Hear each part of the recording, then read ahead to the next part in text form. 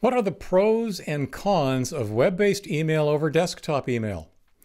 In recent years, web based email has really taken off, but it's still a case where there are some significant differences between using a web based email service and a desktop email program. They're important to understand to make the right decision. What are the pros and cons of web based email over desktop email? Web based and downloaded email both have significant advantages and disadvantages. Which is right for you depends on many things. I'm Leo Notenboom, and this is AskLeo.com. Question My wife and I once used Eudora, where email was downloaded, but right now seem to be happy with the huge amount of space we have available for our web based email on the ISP's servers. We do lots of housekeeping, retaining only what we need for as long as we need it. What other things should we consider?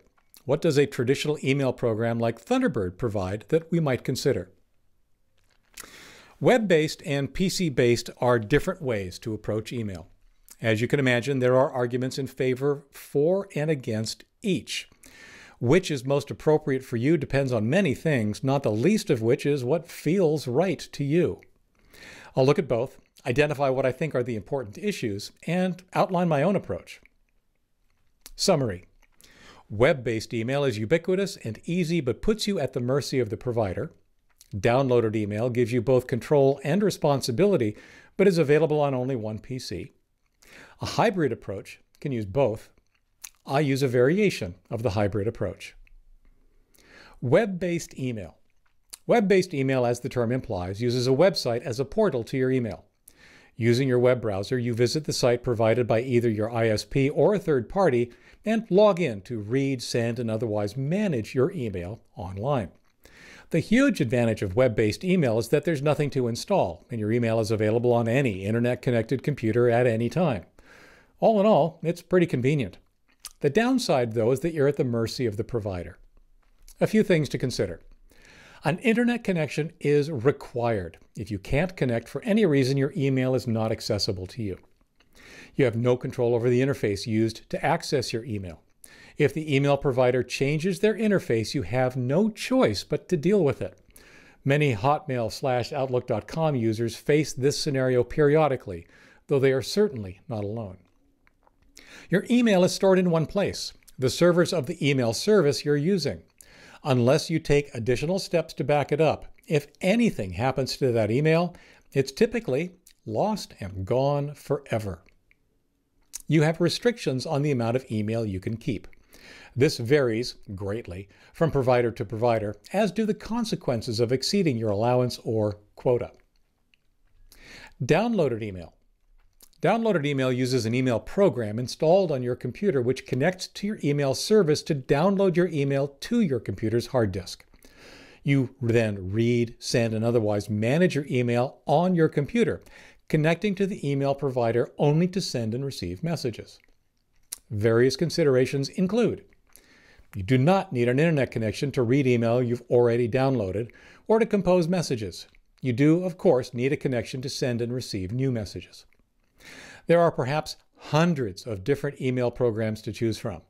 For Windows, the most common choices include Microsoft Office's Outlook, Thunderbird, and the Mail program included with Windows. Many include additional features in the form of extensions or add ons. PC based email programs tend to have many more email management features than their web based counterparts. This works both ways, making them more complicated to use at times, but significantly more capable of meeting various needs. Since your email is downloaded to your computer, you have the ability, I'll go so far as to say the responsibility, to back it up. With an appropriate backup strategy, you need never lose email.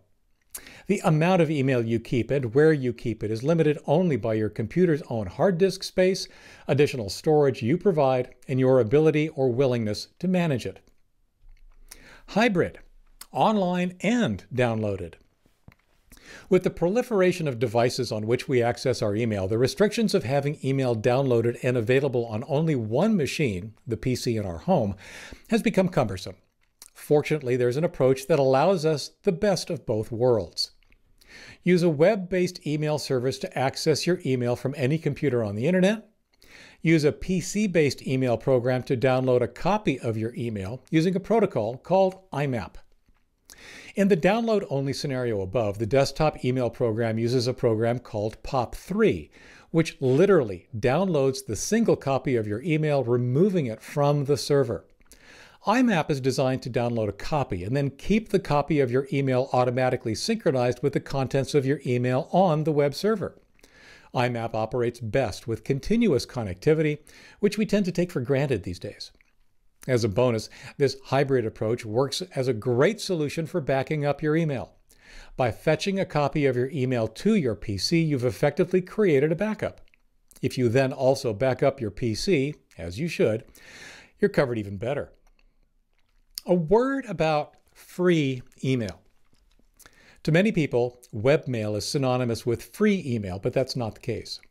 Free email services like Outlook.com, Gmail, Yahoo, and others certainly provide web based interfaces, perhaps even as their primary or preferred interfaces. But all can be used by desktop email programs that download your email to your PC. Similarly, many services that you pay for, such as the email provided by your ISP, might most often be used by a desktop email program, but often also offer a web based interface. The important thing to remember about free email services is this you get what you pay for. Typically, that means little to no customer service and not much help should something go wrong. What I do. Since this article was originally written, I've probably accessed email just about every way possible. Today, my approach is based on the hybrid approach I mentioned earlier. Email sent to any of my email addresses is fetched by a Gmail account. Gmail has the best spam filter I'm aware of, and the web based interface acts as my primary means of dealing with all my email. I run Thunderbird, configured to use IMAP to download a backup copy of my email on one of my machines. What should you do? I can't say what you should do. It really depends on your needs as well as how comfortable you are with the alternatives. Regardless of which approach you take, I caution you to pay attention to backing up your email regularly. By far, the most common issues I hear of relating to email loss could be avoided had the individuals in crisis backed up. That statement applies equally to both web based or downloaded email solutions. For links related to this article or leave a comment, visit askleo.com slash 4203. I'm Leo Notenboom. This is AskLeo.com. Thanks for watching.